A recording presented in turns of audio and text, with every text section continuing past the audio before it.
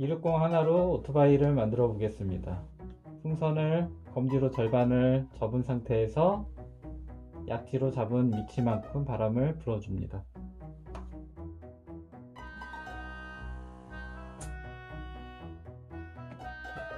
바람은 빼지 않고 매듭을 바로 지어줍니다. 살짝만 지어주고요.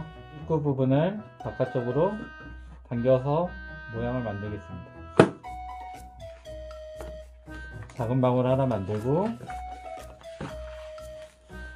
약 18cm 정도 방울을 고리 방울을 하나 만들어줍니다.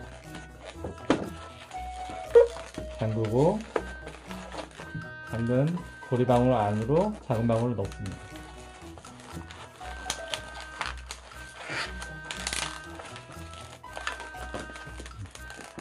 앞바퀴가 만들어졌고요. 그 다음에 이쪽 핸들이 되는 부분에 모양을 만들겠습니다. 일단 대략 1cm 방울 하나, 그 다음에 작은 방울로 꼬지볶고기 방울 하나 만듭니다.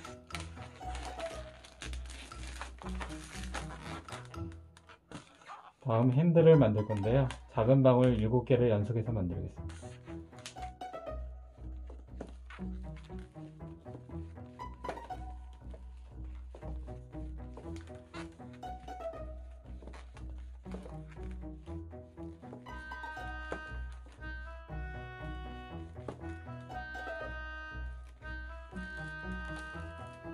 일곱 개의 방울을 만든 다음에 꼬지볶고기 자리에 담가줍니다.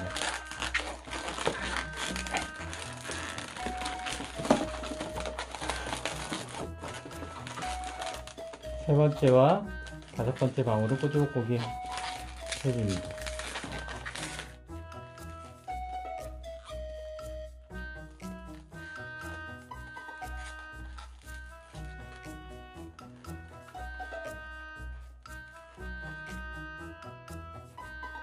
다음.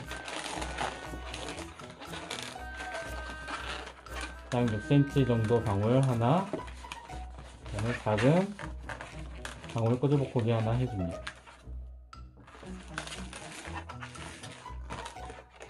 다음 5cm 정도 방울 하나.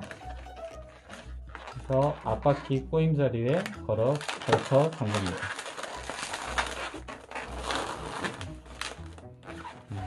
같은 5cm 방울을 만들어서 꼬집고기 자리로 돌아옵니다.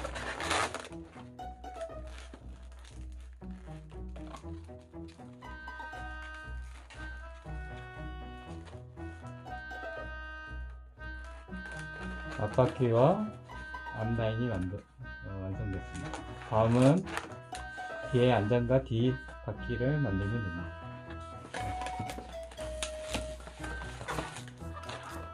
3.5 정도의 방울을 하나 만들고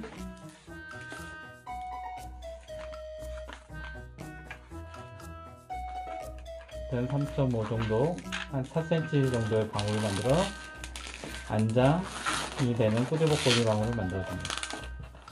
남은 길이에서 뒤에서 방울 하나 만들고 꾸지복고기 방울에 잠깁니다.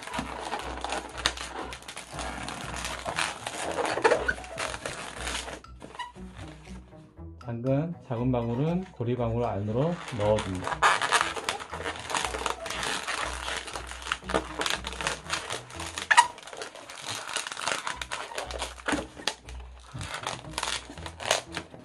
뒷바퀴도 완성이 됐고요. 마지막 앞에 핸들 부분에 꼬지볶고기 사이에 있는 방울은 터트려 줍니다.